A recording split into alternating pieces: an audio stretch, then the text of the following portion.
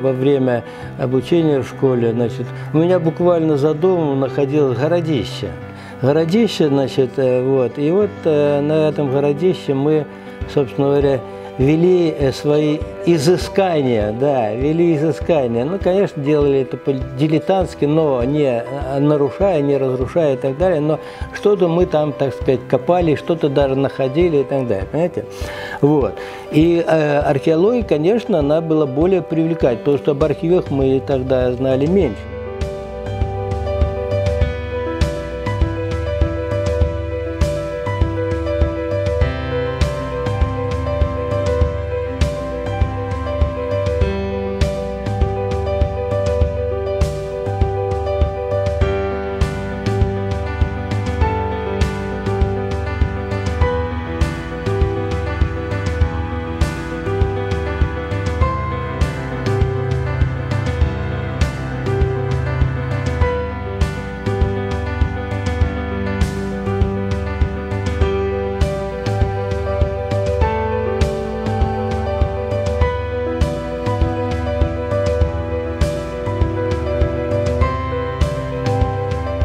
Всех у нас есть свои личные архивы. Вот есть такой личный архив у меня.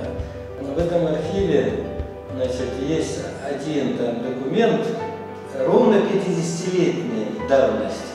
69 года. Да, 69 года. Это письмо вот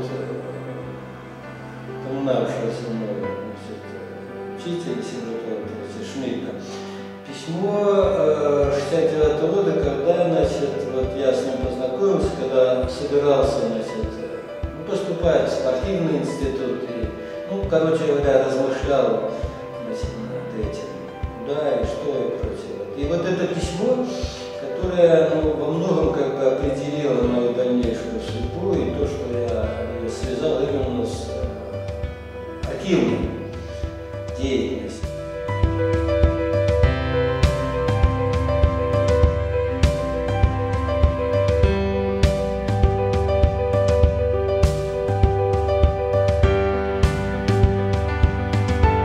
Архивы и архивное дело – это те же самые раскопки. Только в отличие от археологии, в отличие от археологов, которые, так сказать, копают под землей, архивисты копают над землей. И в тех же делах, да, значит, э, единицах хранения, которые хранятся в составе архивных фондов, архивных учреждений, они также, они также раскапывают, они также обнаруживают, так сказать, те или иные артефакты. То есть э, ведут примерно то же самое, что делают вот наши э, коллеги-археологи.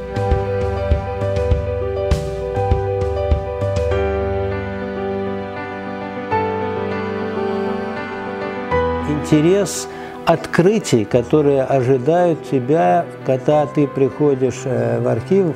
Приходишь ли ты в качестве э, исследователя или пользователя, как мы говорим, работая в читальный зал, или приходишь ли туда в качестве штатного сотрудника, который работает в том или ином отделе архива, э, все равно ты испытываешь действительно вот то чувство ожидания находок, да, значит, находок, значит. И э, вся твоя деятельность как раз-таки вот она подчинена, так сказать, вот, э, вот этому, вот этому. Я не знаю, как у других, у меня это так.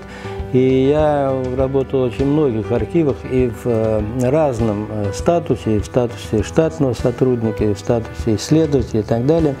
Но вот это вот чувство, да, значит, чувство, связанное с ожиданием находок, да, каких-то открытий, пусть это будут небольшие, маленькие открытия, но тем не менее, вот это чувство, оно, собственно говоря, вот владеет тобой, значит, и это, конечно же, на мой взгляд, самое привлекательное, вот это интереснейшее, на мой взгляд, э, профессия историка, историка-архивиста.